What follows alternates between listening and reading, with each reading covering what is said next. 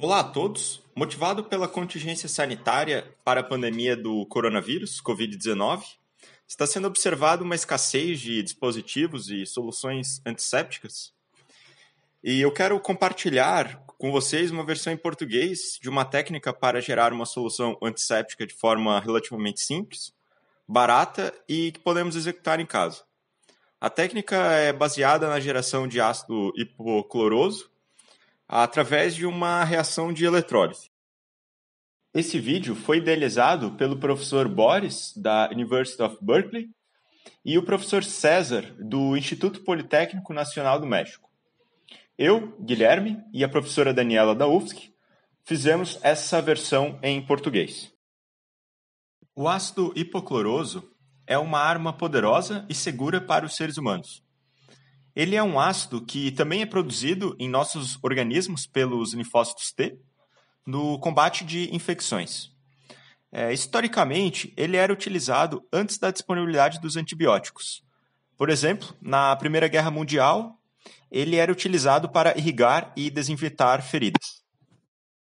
Vamos então aos materiais necessários e os passos para execução dessa solução.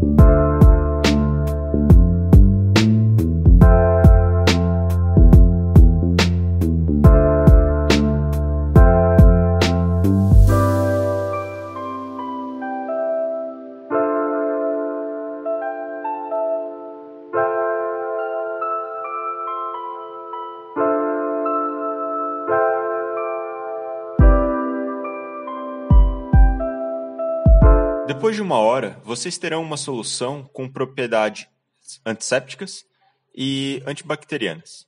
Ela pode ser utilizada para lavar as mãos e também limpar superfícies. Essa é uma solução de ácido hipocloroso diluído em água. Eu devo observar que as bolhas formadas no eletrodo negativo são hidrogênio, que é produto da reação de óxido-redução, é, no eletrodo positivo irá ocorrer uma, uma degradação e vocês também vão observar que à medida que a reação progride, é, irá ocorrer bolhas nas paredes do recipiente. Esses são hidrogênio e oxigênio acumulado. Todos esses efeitos são normais. Eu também observo que essa é uma solução que não permanece estável e então nós recomendamos seu uso em até 90 minutos. Muito obrigado pela atenção e espero que essa solução seja útil para você.